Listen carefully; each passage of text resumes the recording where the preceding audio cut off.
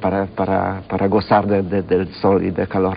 Bueno, yo no soy asturiano, por desgracia, pero me atrevo a decir que estás en tu casa, en Asturias. Kapuczynski, ¿hubieras preferido el príncipe de Asturias de las letras, de las letras, concedido este año a Susan Sontag y a la discutida y discutible Fátima Mernisi, de cuya supuesta santidad literaria yo no soy devoto, al príncipe de Asturias de la comunicación? Te lo pregunto por este titular. No puedo separar al escritor del periodista.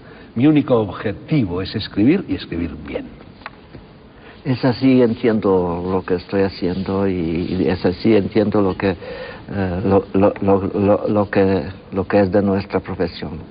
Yo creo que eh, nuestra profesión uh, requiere un alto nivel de que esperamos de la literatura, de, de, del mismo esfuerzo, del mismo talento, y que vivimos en, uh, en una época de, una mezcla de una mezcla de, de, los géneros, de un borrar de las fronteras, de, que vivimos en, eh, un tiempo en que se, se desarrolla el arte del llamado nuevo periodismo, que consiste que se, se escribe sobre asuntos reales, sobre, sobre personas reales, pero que utilizamos el, eh, los, los de taller de, literatura ficticia.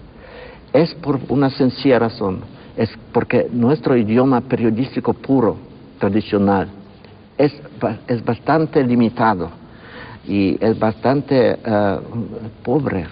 Si se quiere describir, si se quiere dejar uh, y de, si, si, se quiere escribir unas realidades que son tan abundantes, tan colorosas, tan, tan llenas de colores, de, de, de, atmósferas, de, de, cosas que no, no, no podemos que, eh, expresar en un idioma tradicional de, no, de, de, noticia, pura noticia informativa.